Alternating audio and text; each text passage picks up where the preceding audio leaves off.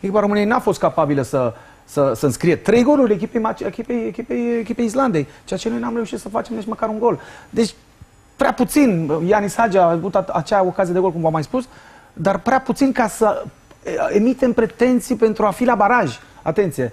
Deci, nu sunt surprins, repet, e adevărat, aparent la început era și ușoară această grupă, dar uh, Macedonia este o echipă într-adevăr mult mai, mult mai puternică, cu o forță, de, o voință și cu o forță de luptă mult mai mare decât a noastră și cu jucători mult mai experimentați. Asta cred eu că a făcut diferența. Mă uit, repet, la cifre, Iată, 23 de goluri pentru mine sunt foarte multe în această campanie. Uh, uh, da, e o medie de peste două goluri pe meci. De ce vorbim? Deci, despre anunț, Florin, da. uh, ar fi fost păstrat? Adică el spune, dumne, plec. Uh. Dar el ar fi fost păstrat? Ar fi trebuit păstrat? Dacă ar fi trebuit păstrat. Nu, n-ar fi trebuit păstrat. Pentru că vorbim de un eșec. Și mie antrenorii care, care nu califică echipa la, la baraj, pentru că nu aveam evident pretenții la locul, locul 1, mie nu-mi plac. Deci, pur și simplu, mie, un antrenor lipsit de, de acel spirit practic, uh, uh, lipsit de experiență, uh, nu-mi plac. Deci, foarte bine că nu, că nu va continua, după părerea mea, pentru că eu am nevoie de rezultate. Am nevoie de rezultate și am nevoie de obiective. Nu și le atins și ca atare, evident, își face valiza și pleacă. Evident că dacă ar fi ajuns la baraj, lucrurile se schimbau. Lucrurile, evident că și eu aveam o părere diferită, dar el nu, nu a nu ne-a demonstrat uh, mai tot timpul uh, această campanie, cu această excepție, repet, în aceste meciuri, ultimele meciuri care un pic a redresat, cum am mai spus, uh, situația, dar este corect așa. Sunt convins că cei care conduc federația, președinte Burleanu, are deja o listă cu 2-3 antrenori. Îmi permit să spun, îmi permit sigur? să spun, sigur? cred că da. Îmi permit să spun că, într-adevăr, și sunt într totul de acord cu Lupescu, Cred că, ea, cred, că, cred că Gică Hagi ar fi singurul care mai poate, uh, uh, să zic așa, uh, califica echipa națională la un turneu european sau la un turneu final. Acum e vorba de turneu din peste 2 ani. Eu cred că este singurul cu, cu adevărat și ar merita din nou o șansă, evident dacă el dorește, să, să, să antreneze echipa României la, în câteva, să nu știu, să fie numit el. Să adică zic, ce crezi că ar aduce Hagi E clar că e vorba de un, de un, de un antrenor cu mare experiență. Asta este, este de, indiscutabil. Uh, este evident mult mai matur, este trecut prin multe. Cred că ar fi o, o, o dorință enormă pentru a-și lua revanșa de acel blestemat meci cu, uh, din 2001, dacă nu greșesc, uh, cu Slovenia din Ghencea. Mizez pe asemenea, asemenea lucruri, mizez pe... Și bineînțeles, mizez pe profesionalismul lui, pe, pe modul de a gestiona Totuși, uh, totuși nu e simplu modul de a gestiona momentele dificile cu presa, pentru că nu este ușor. Deci uh, eu cred că este, uh, ar fi omul potrivit la momentul potrivit pentru a ne duce la un turneu final. Cosmine, concret, nu știu să răspund la ce întrebare. Sau, Rădoi, într-un fel sau altul, a încercat să prezinte părțile pozitive ale mandatului. Normal. Este absolut uh, Au și logic. fost. Uh, care au, au fost? Păi, a fost calificare la Campionatul European de Tineret, e o performanță. Eu vorbesc de seniori. Ah, pe, păi, el adică, a vorbit de alea. El până la urmă ne-a arătat el că a fost un foarte bun selecționer de tineret. Da, corect. Corect, nici n-a avut pretenția să spună altceva. Uh, nu, este dar, clar dar, că... dar felul în care pune problema pare așa, domnule, nu vreau să continui, nu știu. Adică întrebările dacă, sau răspunsurile lui dacă ar trebui să continue, dacă nu ar trebui. Adică termină pe locul 3 în grupa de Liga Națiunilor.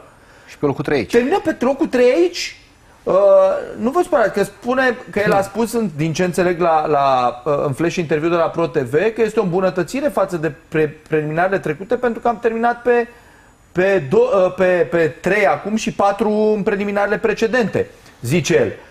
Dar să mă ierte Dumnezeu, Uh, sunt două lucruri. Unul la mână. Contra termină pe droi grupă de Liga Națiunilor, da? grupa de Liga Națiunilor cu Serbia, Muntenegru și Lituania. Iar Contra are parte de o grupă cu Spania, Suedia, Norvegia. Și termină pe locul 4. Nu te spăra. E poate normal să termini pe locul 4 da. grupa aia. Da, tu nu vezi că noi din înfrângeri tot că căutăm să găsim ceva bun? Da. Deci din rateurile astea tot să găsim o virgulă, ceva, o umbră care să ne dea și ceva Ți bun se în pare povestea un, asta. un selecționer Nu. care și-a asumat eșecul uh, perioadei astea? Pentru că este un eșec perioada, mandatul Este cu, un cu eșec. tot respectul pentru Și Rădoi. mie mi-e drag, îți spun, mi-e tare drag și îmi pare rău, spun sincer. Și mie. Că nu sunt prieten cu el mai mult decât sunteți voi pe aici, că asta ne e meseria, dar uh, spun sincer că îmi pare rău și lui că nu i-a ieșit și echipei noastre naționale, că e a noastră. Chiar îmi pare rău și aș fi vrut să iasă. Dar nu i-a ieșit. Cum zice și Radu, nu poți să te gândești parcă să rămâi. Adică nu poți să iei în calcul, nu el sau cineva. Suntem sătui de lucrurile astea. Nu înseamnă că cine vine va rezolva problema. Nu înseamnă că vine mâine Hagi și ne califică. Da, da. Nu scrie nicăieri treaba asta pentru că ar fi fost pus peste noapte. Da. Nu înseamnă că nu-i va fi greu celui care va veni. Repet, îmi pare rău pentru că el pare un băiat dezghețat, preocupat, motivat. Adică în afara ceea ce se vede pe teren, sunt convins că el a fost plin de bune intenții și că a vrut să iasă bine. Mă, toți Că doar- care vin acum, hai Bineînțeles, să, hai să o adică altfel, nu. care, e vreunul care vine la național și să indolent fie și cu rea intenție. Nu, adică toți asta vin și spun, speră nu. să facă lucruri. Sigur că da, sigur că da, dar nu, nu nici povestea asta că nu i-au prelungit contractul, nu s-au gândit la zi, la, La baraj. uh, baraj și așa mai departe. Aici este, este și o poveste obiectivă, dacă nu știți. Din păcate n-a știut nimeni să o prezinte de la federație, deși la capitolul ăsta de comunicare stau destul de bine. Dar tot nu stă în picioare și știu ce vrei să spui, că am mai discutat aici în Nu emisiune. sunt în picioare că n-au făcut-o din timp. Nu stă în picioare pentru că n-au făcut-o din timp. Tu ai Adică dreptate, noi acum da? trebuia să avem barajele. Dar ei știau treaba asta din primăvară. Băi, în martie, Mirele, vezi că barajele nu mai sunt în noiembrie. Sunt în februarie. Vino încoace dacă vrei să rămâi. Dar Deci, e clar că barajul federația... trebuia să fie în februarie. Nu, barajul trebuia să fie nu, acum. Bara, Acum. Barajul de acum era... Uh, nu, barajul trebuia să fie acum și acum s-a mutat în februarie S-a din mutat în cauza februarie, pandemiei. da? contractul a fost semnat corect atunci la momentul ăla, ca timp ca cu Mirel inclusiv la baraj, în sfârșit. Dar ei n-au fost mulțumiți, că altfel se duceau și îi spuneau în martie. Mirele, vezi că noi avem până în noiembrie, dar barajele sunt în martie. Ei nu s-au dus acolo. În sfârșit. Ce se întâmplă și la Federația Română de Fotbal și din păcate și la Liga Profesionistă de Fotbal, pentru că trebuie să vorbim de toate lucrurile astea. Da. Pentru că nu, e, nu este doar Mirel Rădoi vinovat de ceea ce se întâmplă aici. Absolut. Nu este Super. doar Mirel Rădoi vinovat că noi nu ne calificăm de aproape 30 de ani la campionatul mondial. Nu. Nu este doar Mirel Rădoi că ne e vinovat că noi avem o echipă în cupele europene și aia în Conference League că ne-a mai dat UEFA o a treia competiție și ne bucurăm că facem un egal cu 100% Randers. de acord. Jos pălăria pentru ce a făcut în general CFR Cluj în cupele europene, mai ales că nu face nimeni altcineva nimic. Deci ne scoate laci. Deci pe noi ne scoate laci din Albania. A nu se confunda Naționala Albaniei cu campionatul Albaniei, că n-au niciun jucător din campionatul intern. Deci noi suntem la pământ. Nu este un accident ceea ce se întâmplă aici. Ba înclin să cred că dacă ne-am fi calificat ar fi fost ceva ieșit din comun. Ar fi fost ceva chiar anormal față de ce este fotbalul românesc astăzi și unde este fotbalul românesc. Noi nu avem ce căuta acolo. Nu avem ce căuta Da, acolo. da. Pe drept cuvânt, ce arată fotbalul nostru astăzi? Unde joacă acești fotbaliști de la echipa națională? Ce performanțe au ei? Ce experiență au ei? Noi nu aveam niciun fel de pretenții decât pretenția de suporter, de fan al echipei naționale și dorința noastră de a vedea echipa asta în sfârșit acolo. Dar asta nu înseamnă că realitatea din teren, de pe teren, este alta. Nu știu dacă merităm să fim acolo. La bună dreptate, adică trebuie să fim sinceri și corecți cu Măi, noi. mai- Dorința e una, putința este altceva. Dar de ce merită Macedonia de Nord și nu Uh, merităm pentru că este o noi? echipă mai bună decât România. Eu cred că este o echipă I-am luat puțin. patru puncte puțin. din șase, Da, Cosmine. știu, dar ei, au, Deci, ei au nu te bătut în spăra, Armenia. meci direct n-au fost Ei au mai buni bătut în ca tine. Armenia. Ei au bătut în Armenia, Da. noi am pierdut în Armenia. Adică nu Ei au poți- bătut în Germania, noi am pierdut Pot în să Germania. spun, știi că, băi, Ei au eu am bătut o Islanda. problemă când un sistem sănătos, Tudor, Este puțin mai bună. măi, când un sistem Puțin. sănătos te bate, nu am o problemă. Da, Pentru n-ai o că problemă este să te bată sistemul la să- mai bun. Nu da. am o problemă da. pentru că este e un sistem frustrant când te sănătos. bate o echipă care e mai Da? săracă, o țară care e mai mică, o țară care Dar nu are când bază, vine o un țară care nu e în sistem Uniunea care este Europeană. sub cum al vrei. tău din toate Da. punctele de vedere, am Nu o știu dacă problemă. Este sub al tău sistemul, dar echipa asta este puțin mai bună. Cu un punct, cât au avut peste Nu noi? știu, da. Un punct. Ăla a fost. Nu ne-a călcat în picioare. Sau Nu n-am e avut lumit. noi selecționerul Dacă jucăm potrivit. acum o dublă săptămâna asta și săptămâna viitoare cu Macedonia tur-retur, nu știi cine se califică. Sau selecționerul nostru de-abia în, în, în, în finalul semestrului 2, da? Deci primul E posibil, semestru e Tudor. ratat, începutul Cauza, semestrului 2 e dom'le, și ăla cauza ratat și în concretă, finalul aici- semestrului a- 2 aici n-a învață treaba. N-a fost o scânteie care să declanșeze chestia asta. Nu este o singură cauză, a ratat unul un penalti și a alunecat în momentul în care a șutat Beckham cu Grecia sau cu cine Nu. Aici sunt multe lucruri care au dus la ceea ce se întâmplă asta. Și se întâmplă că o să faci o analiză. Tu mi-ai spus să spun dinainte, da? Trebuie analizat asta de ani de zile în urmă ce se întâmplă. Și atenție, într-un fotbal românesc bogat. Fotbalul românesc este incomparabil mai bogat cu fotbalul din Macedonia. Absolut. Fotbalul intern Și vorbesc față despre de echipele, Armenia, despre cluburi. și față de Islanda, Oh, și față de... Adică față Finlanda? Finlanda, vorbim de fotbalul din Finlanda, nu de Nu, nivelul Islanda, de trai. zic. Față Dar, de- dar Finlanda Da, și care Finlanda se duce, care se duc la Finlanda baraj. care trage să se califice la campionatul mondial, care a fost în vară la campionatul european. Nu comparăm nivelul de trai din Finlanda cu ăla din România. Aia ceva, vorbim fotbalistic. Eu, și rămâne și problema managementului.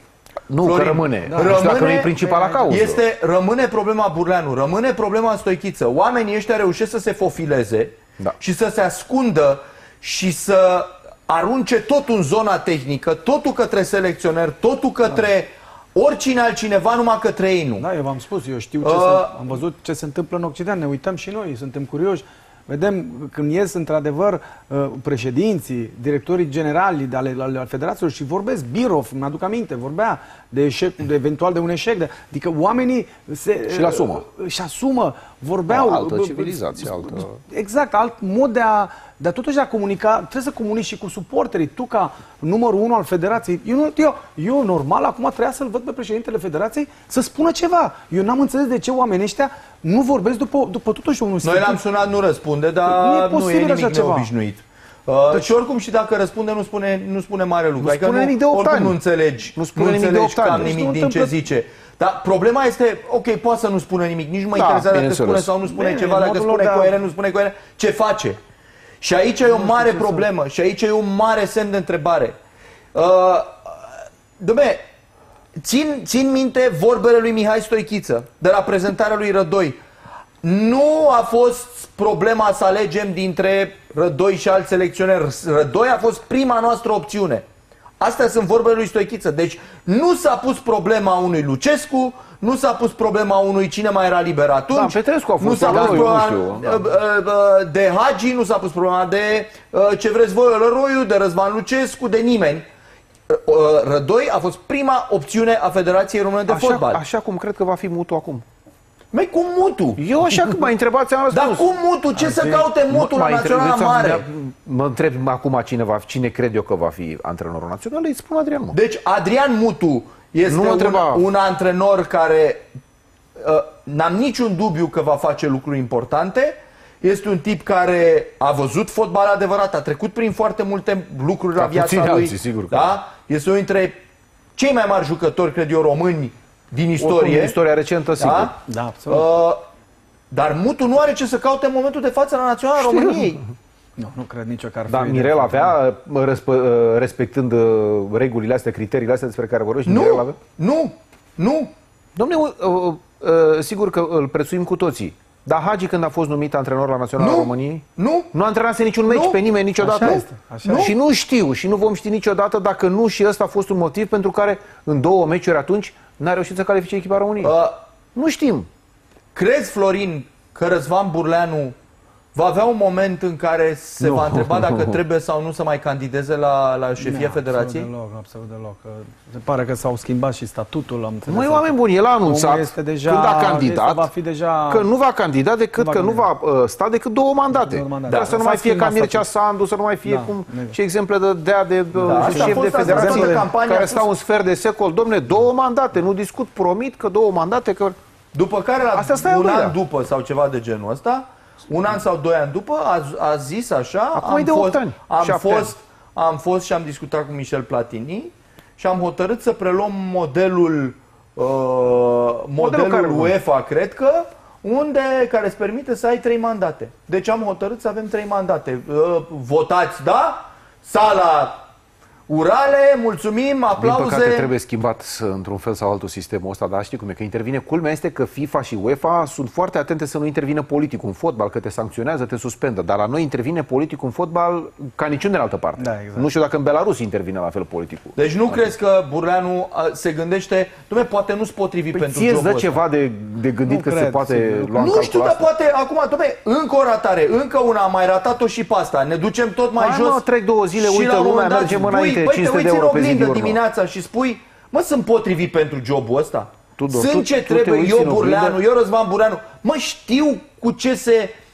Care sunt ingredientele da, pentru adevărat. a face din România, să, să fie români iar mândri de națiunea asta de fotbal? E adevărat, după 8 Te ani, poți uita dacă... în oglindă și... Te poți, Tudor, un om care are demnitate, care are onoare, care are conștiință, nu, Silviu, da, într-adevăr, el da. acum a completat. Eu nu mai știu ce adjective să mai folosesc uh, atâta ipocrizie și falsitate nu am văzut în, în, în această abordare a Federației. În sfârșit, nu vreau să să jignesc pe nimeni, dar într-adevăr, după 8 ani, intrăm în al în mandat, Nu, al 7 treilea intrăm în mandat. al 8-lea. A, intrăm în al 8 da, exact. Uh, într-adevăr, te întrebi, sunt potrivit pentru a conduce această federație, acest fenomen fotbal care este din ce în ce, l-ai dus din ce în ce mai mult uh, în prăpastie, practic. Mai avem puțin, de fapt, în fundul prăpastiei, pentru că, într-adevăr, iată unde suntem. Într-adevăr, este evident și mare parte din vină o are această, o asta cu siguranță această federație. Eu nu zic acum, nu fac o chestie personală, au trecut Da. atâția Nu, ani. ce am ce Noi Dumnezeu, ani de că când- vede e toată adevărat, lumea, am noi făcut, parte n-avem- din, am făcut parte din echipa staffului Lupescu,